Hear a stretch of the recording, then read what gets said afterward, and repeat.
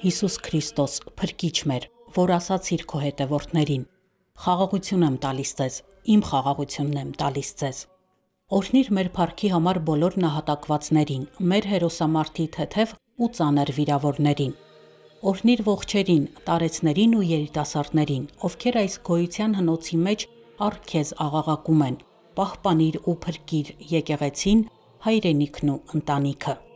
Հայ առաքելական եկեղեցիներում այս բովանդակությամբ աղոթքներ հնչեցին։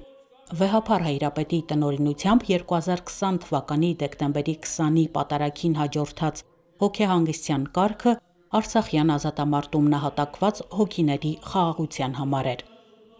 Արցախյան պատերազմը մարդկային ու տարածքային կորուստներն ալեկոծել են հայերին հայրենիքում ու արտերկրում։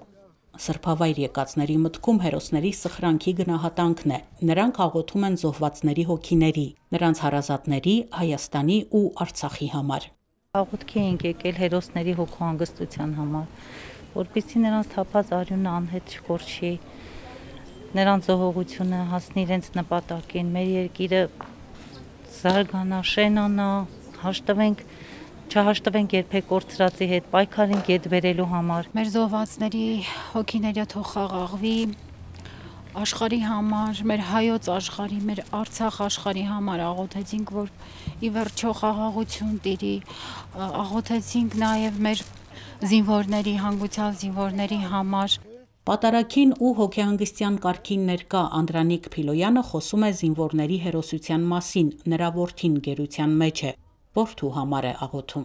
Սխրանքով տղեկ են եղել, արել են ամեն ինչը, իշքան իրանք կարացել են։ Դե ես էլ եկել եմ ստեղ, հանում իմ երեխու, իմ որդու համար։ Գերի է իմ որդին։ Մա, մեր Հիսուս Քրիստոս փրկի բերեն մեր երեխեքին։